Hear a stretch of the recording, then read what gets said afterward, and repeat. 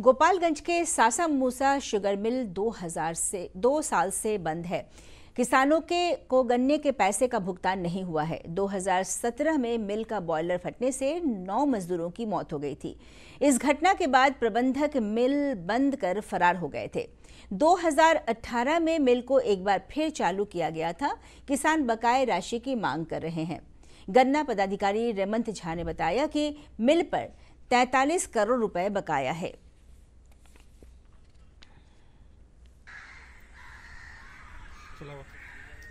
Forty eight thousand का हमारा payment बकाया है यहाँ। और इसके लिए मैं मिल मालिक से और सरकार से अनुरोध कर रहा हूँ, मेरे फादर के नाम से यहाँ गन्ना गिरा हुआ है और मैं इसमें दस बार से ज़्यादा इस मिल का चक्कर कटा, काट चुका हूँ, लेकिन कोई आदमी यहाँ रिस्पॉन्ड नहीं करता है।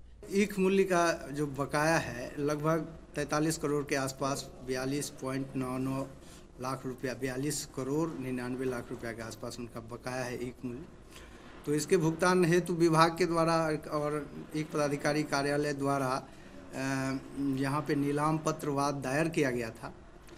तो जिसमें सुनवाई भी हुई थी, फैसला भी आया था, वारंट भी निर्गत हुआ था। लेकिन अब ये मामला चला गया है एनसीएलटी में, national company law tribunal Kolkata में। तो अब उन्हीं के द्वारा जो है इसमें जो निर्णय होगा तो वहाँ पर विभाग के द्वारा जो एक मूल्य बकाया से संबंधित और जो क्षेत्रीय विकास परिषद से संबंधित जो भी देता है मिल के ऊपर, उसका डिमांड जो है वो किया जा रहा है।